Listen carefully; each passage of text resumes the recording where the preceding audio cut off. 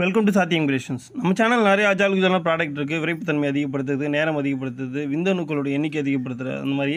அதோட லிங்க்லாம் டிஸ்கிரிப்ஷன் இருக்குது அதில் நீங்கள் வாங்கிக்கலாம். அதோட நம்பர் அதில் இருக்குது இன்றைக்கி நம்ம பார்க்க போகிற விஷயம் அப்படின்னாக்கா மனைவி மார்பகத்தில் வந்து பால் குடிக்கலாமா? இந்த ஹெட்டிங்கை பார்த்தோன்னே பல பேர் ஆர்வமாக வந்து ஓப்பன் பண்ணியிருப்பாங்க லிங்க்கை ஓகேவா குடிக்கலாமா? வேணாமா? குடிக்கலாமா? வேணாமா? அப்படின்னு சொல்லிட்டு.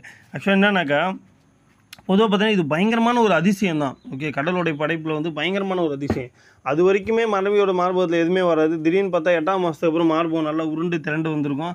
குழந்தை பிறந்தவொடனே பால் வர ஆரம்பிச்சிடும் ஓகேங்களா?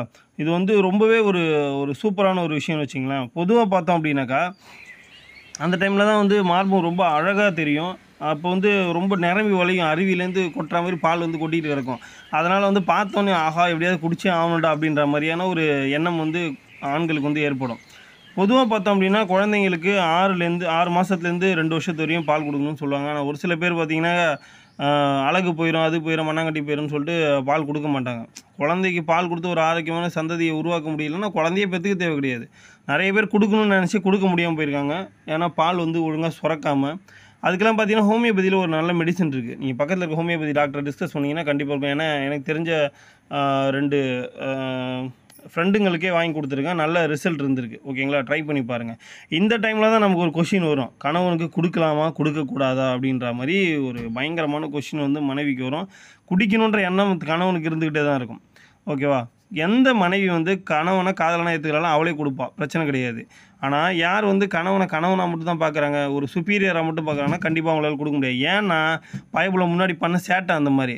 பிடிச்சி புளிஞ்சு வைக்கிறது கடிச்சு வைக்கிறது மார்பகத்தை பிடிச்சி இந்த மாதிரியான சேட்டெல்லாம் நிறைய பண்ணியிருப்பான். ஸோ அதனால் அந்த பிள்ளைக்கு பார்த்தோன்னே ஆகா பயப்புல பாண்டி பராண்டி வச்சிருவான் பாஞ்சு.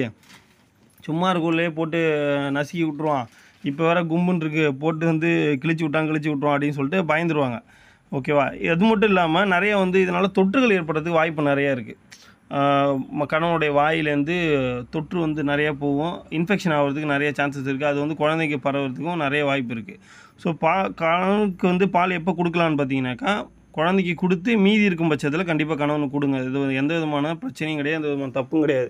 ஏன் அப்படின்னாக்கா பால் கட்டிக்கும். இந்த மாதிரி நிறையா பிரச்சனை இருக்குது அது மட்டும் இல்லாமல் நீங்கள் பால் கொடுத்தீங்க அப்படின்னாக்கா அதுலேருந்தே வந்து கணவனுக்கு நல்ல எனர்ஜி கிடைக்கும். ஃபஸ்ட்டு ரெண்டாவது விஷயம் என்ன அப்படின்னு பார்த்தீங்கன்னாக்கா குழந்தை தான் முக்கியம் அப்படின்ற ஒரு எண்ணம் வந்து உடப்பட்டு போயிடும் ஓகேவா நம்மளையும் வந்து சரிசமமாக தான் பார்க்குறாங்கன்ற ஒரு எண்ணம் வந்து கணவனுக்கு ஏற்படும். ஏன்னா நிறைய கணவன்களுக்கு குழந்தை பெற்றவர் மனைவி என்னை வந்து முன்ன அளவுக்கு பார்க்கறதில்ல அப்படின்ற ஒரு எண்ணம் இருக்கும். அது வந்து உடைப்பட்டு போயிடும் அடுத்த விஷயம்னா மனைவி மேலே அளவு கடந்த ஒரு அன்பு வரும்.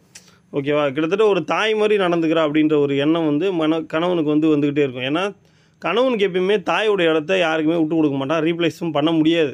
ஆனால் இந்த மாதிரி பண்ணக்குள்ளே ஓரளவு வாய்ப்பு இருக்குது அந்த இடத்த வந்து ரீப்ளேஸ் பண்ணிக்கிறதுக்கு. சரிங்களா? அந்த மாதிரியான விஷயங்கள் இருக்குது இன்னொன்று வந்து எந்த அளவுக்கு வந்து பால் குறையுதோ அந்த அளவுக்கு வந்து பால் மறுபடியும் மறுபடியும் ஊற ஆரம்பிக்கும். புது பால் வந்து ஊற ஆரம்பிக்கும். அதனால் பால் வந்து குழந்தைங்க குடிச்சு மீந்துருச்சு அப்படின்னாக்கா தாராளமாக கணவனுக்கு கொடுங்க. எந்த விதமான பிரச்சனையும் கிடையாது. ஆனால் ஹைஜீனிக் மெயின்டைன் பண்ணுங்கள் ஏன்னா எந்த விதமான தொற்றுகளும் இல்லாமல் ஒரு குடித்த பிறகு வாஷ் பண்ணிடுங்க ஈர துணி வச்சு தொடச்சிருங்க நல்லா. கழுவிடுறதே நல்லது. ரொம்ப இது ஈர துணி வச்சா துடைக்கிறது அந்தளவுக்கு ரிஸ்க் எடுக்க தேவையில்ல. கழுவிடுறதே நல்லது. ஏன் அப்படின்னாக்கா ஐயோ என் கணவனுக்கு தம் அடிக்கிற பழக்கம் இல்லை சரக்கு அடிக்கிற பழக்கம் இல்லை அவர் ஒரு டீ டோட்டலர் அப்படின்ற மாதிரி வரைஞ்சு கட்டிட்டு வரக்கூடிய மனைவிகள் எவ்வளோ பேர் இருக்காங்க? என்ன தான் கணவன் தூக்கி போட்டு மேய்ச்சாலும் என் புருஷன் நல்லவன் தான் சொல்லக்கூடிய மனைவிகள் இருக்க தான் செய்கிறாங்க ஓகேவா? இருந்தாலுமே நான் என்ன சொல்கிறேன்னா சில பேர் வந்து பல்லேருந்து ரத்தம் கசியும்.